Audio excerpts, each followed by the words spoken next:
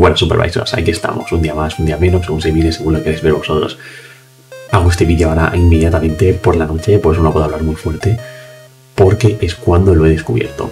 ¿Cómo podemos volver a jugar a Digimon Super Rumble? Ya sé que este juego es de Corea y se podía jugar desde cualquier país, en verdad, con cuatro truquitos. Era muy sencillo. En mi canal tenéis cómo se crea una cuenta, ¿vale? Por si sois nuevos, meteros en mi canal y veréis cómo se crea una cuenta.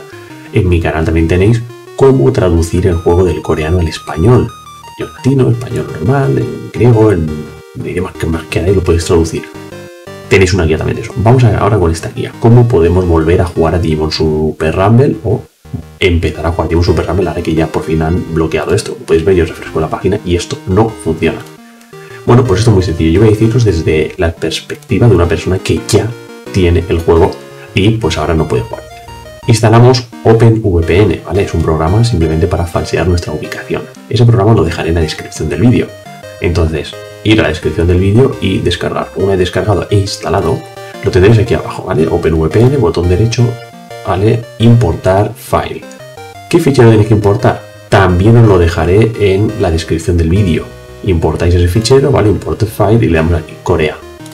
Doble clic, ¿vale? A mí me está diciendo que yo ya lo tengo porque es que yo ya lo he hecho a vosotros no saldrá nada de esto.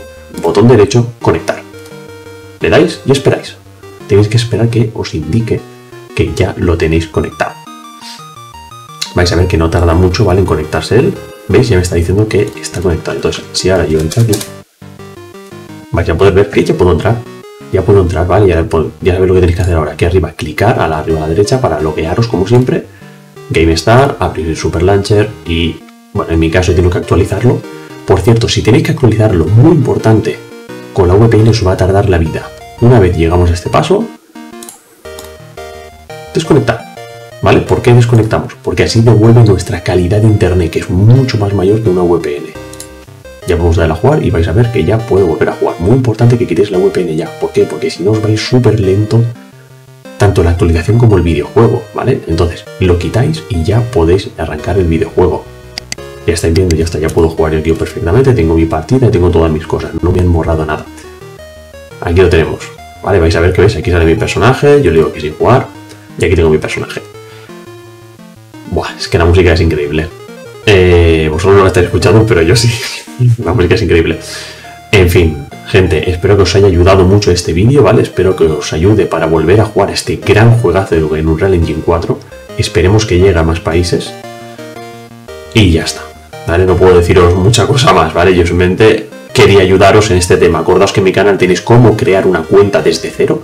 Tenéis en mi canal cómo traducir este juego del coreano al español. Meteros ahí y podéis verlo, ¿vale?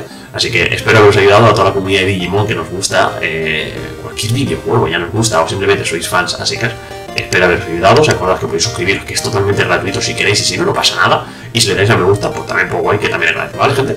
Venga, nos vemos en el próximo vídeo y que vaya muy bien el día. Chao, chao.